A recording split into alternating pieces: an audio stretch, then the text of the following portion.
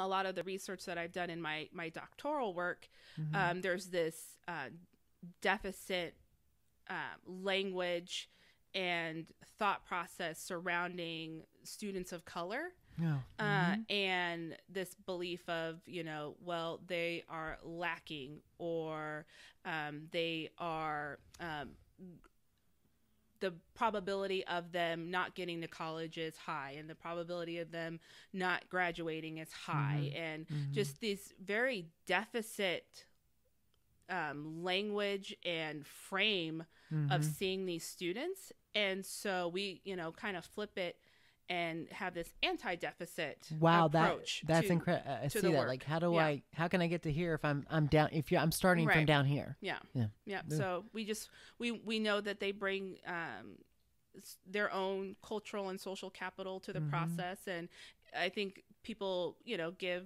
Kauffman scholars a lot of credit when the credit should be put back on the the Mhm. students and the families that they did the work Yeah. we just said here are the resources Here's the Here's- framework. There's, the support, and it's up to you to do the work. And all these students did the work.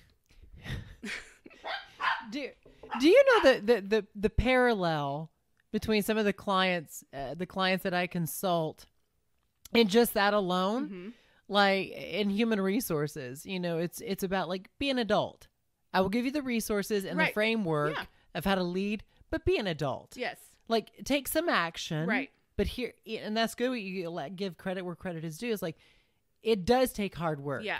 it is oh, not Oh, going yeah. to be easy Nope. here's the framework here's what we can Yep. provide and it, it runs parallel to organizations but most organizations it, it- i think they're trying to get there Yeah. i think they're trying to get to that that level of of that, that kind of human development Right. And I, I mean, I try to tell people like we're not the ones that applied to college for them. I didn't take their tests. I didn't do their projects. Mhm. They did all that work themselves. Yeah. And so we, it was just filling that gap in the opportunities that may not have been available to them yeah given you know maybe where they went to school Mhm. or um, where they're from